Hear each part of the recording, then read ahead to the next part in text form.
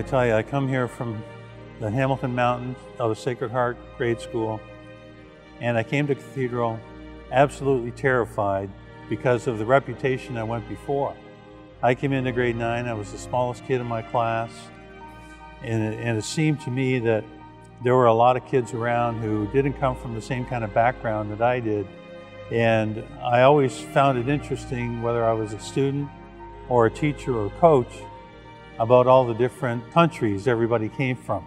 And I always am proud of that fact that there's every race, there's every religion, there's every socioeconomic group that went to Cathedral, and somehow we managed to get along, play together as a team, and um, you know, I, I wouldn't have it any other way. You know, the senior team in those days, the senior boys basketball team was led by names like uh, Jim Daly, who went on and became principal, coach. He was my coach for one year at Cathedral, 1968-69 year. And, uh, and then he, of course, became the director of the Board of Education here. So the, the, the names that have been around Cathedral for a long time uh, have very deep roots, you know. Now there are other Dalys around the Cathedral program, his sons. I was four foot six in grade nine and maybe 100 pounds soaking wet. And I can remember we won the city championship, went undefeated my midget year. The coach was a guy named Bob Knuckle and uh, Art Sampson. Won the city championship, went undefeated when I moved up to junior. My first year senior, we only lost one game, and that was the Ontario Championship game. And then my last year, we lost in the semifinal of the All Ontario. So I'm very fortunate and blessed that in my high school career, we only lost two games in that whole time. So, you know, I was surrounded by a lot of great players. It wasn't because I was on the team, it's because we had a lot of great players, great athletes, great people, people who had a lot of mental toughness, physical toughness, basketball ability, and I just happened to be part of that crowd.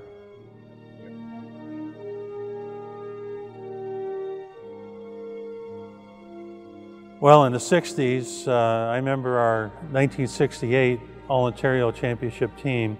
We averaged 100 points a game that year, and that was before the three point shot.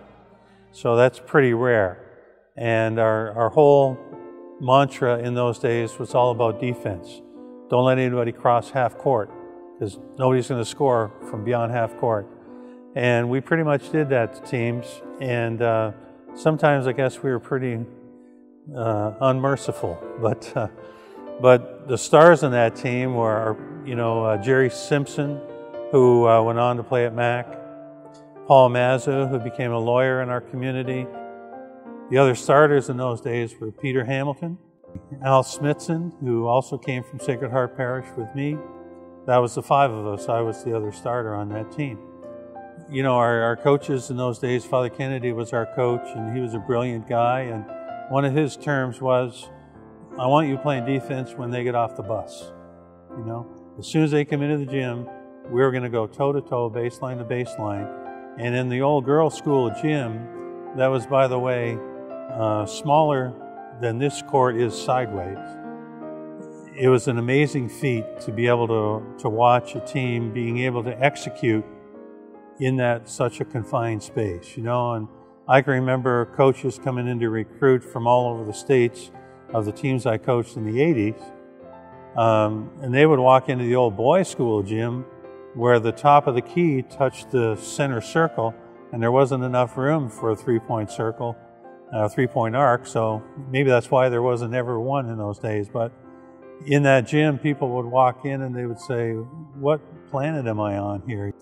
When we used to use the girls' school gym, we had to do so by permission of the girls' school administration, making sure that they weren't using it that day.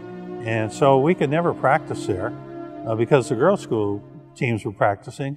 We would use it for our games. So although we practiced in the boys' school and the girls' school was our home, home court gym, uh, it was a visiting gym for us because we never got to practice there very, very rarely. Uh, maybe over the Christmas holidays when the girls weren't practicing, but that was about it. In terms of the one lost column, the 80s and 90s were probably the most prolific. Although when I was doing my research uh, for the reunion, I found out that in every decade of the public record, so that's the 40s all the way through to 2000, Cathedral won the city championship five out of 10 years of each decade. I mean, when you think of all the schools in town, that's a heck of an accomplishment. But probably the, the vintage years were the 80s with players like Peter Giftopoulos, Sam DeFeo, um, Glenn Grant, John Wroblewski, so many great, great players that dominated the scene for the whole time that they were in high school. I was lucky enough to only lose two games during my high school career. I think the same is true of Peter Giftopoulos and Sam DeFeo. And they might have only lost one game, because I can only think of one game that that group of people lost. The rest of the time, they were dominating the city, dominating the province. Uh, we would go to play in international tournaments um, and often play against USA Today ranked teams and beat them.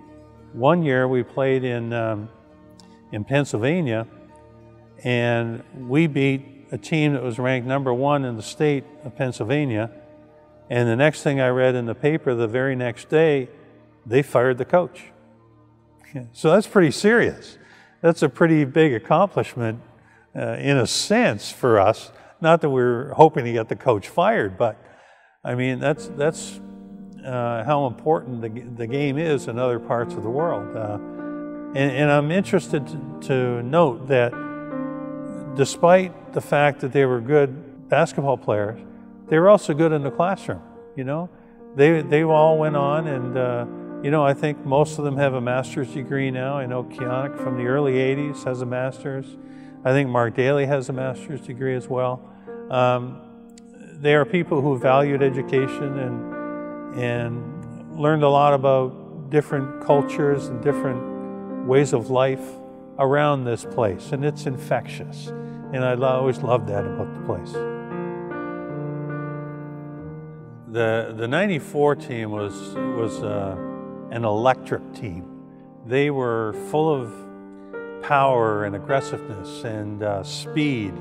Um, and I used to tell Steve Maga, who was our point guard, and Steve, by the way, became National College Player of the Year, TSN Award winner, three-time All-American, or All-Canadian rather. Uh, great, great young man and great player in those days, and, and still is giving back to the community today. Well, I used to kid Steve that he was the brains of the team, and Joe Martin, Chris Clark, who are our wing players, were both outstanding athletes. As fine a, uh, an athlete uh, was Joe Martin as I've ever seen. I, I saw Joe do things with the basketball that I've never seen anybody do at the pro level, at the international level. Uh, I remember clearly one time there was a dunk competition, and Joe made a move from the baseline, and he flew up in the air. He pulled his shirt over his head. He laid out parallel to the floor and dunked the basketball. I mean, it was the most athletic thing I've ever seen in my life. To this day, I haven't seen anything like that. Besides being a great athlete, Joe is probably the classiest guy I've coached in 40 years of basketball. Joe is now a teacher and coach in Mississauga. Great, great young man. His family's beautiful. Um, on the other wing was Chris Clark, and Chris Clark's dad was a preacher uh, Baptist preacher, and uh, Chris learned a lot of lessons, I think, from his dad. He could talk all day long. Uh, if, if we were going to meet as a team at 6.30 to go somewhere, I would tell Chris 6 o'clock, you know, and then he would be on time at 6.30. Fashionably late all the time, Chris, but a great young man. Starting at the power forward was uh, Chad Calhoun, and uh, Matthew Gruel started at the center spot. And that team was full of enthusiastic athletes who uh, were all on the same page. You know, there were 16 players on the team, and some of those players never got to play in some of the games that we played. They, uh, the fact is that they never complained. They still brought it every day in practice. And I totally believe as a coach that the quality of your practice has a lot to do with the quality of the players who are not the stars of the team, the role players, the, the guys who know that they get out there and they grit it out every day. God didn't give them the same amount of ability as somebody else, but you know what? They're making their contribution. And I always used to liken it to the spokes on a wheel. You know, all the spokes are all the same size. But if you're missing a few spokes, that wheel doesn't turn very well. It wobbles. And when all the spokes are there and they're all tightened to the same degree and they're all in the same run, then the wheel turns pretty straight. And, uh, you know, it's a pretty simple analogy, but the kids understand that. And one of the things I always did as a coach, Jae, was I always tried to tell the players that basketball is a tool that can take them anywhere in the world. And that's very evident in the fact that now our players are all over the world and they're giving back to the community. We won OFSAA undefeated in 94, won OFSAA undefeated in 1998. And the thing about Cathedral to me is that the teaching staff here, and, and I know it's very true to this day, the teaching and coaching staff here really know the kids well. They know who needs a meal and they know who needs a kick in the backside, you know? And I think that that's what coaches, mentors, teachers need to really be all about. Um, it's not just a game, it's, it's a way of life. And if you can perceive excellence on the basketball court, um, that should carry over into every facet of your life, whether that is in relationships, your academics, whatever there is out there. Um, that striving for perfection and to do something the correct way because it's the correct way, that's what I'm always aimed for as a coach. I know always my assistants uh, felt the same way. The basketball knowledge that people have here uh, is fabulous. It's, um, you know, you can't get a better teacher coach than Ray Cabardas. You know, you can't get a better mentor, a better role model than Ray. Well, He's very approachable.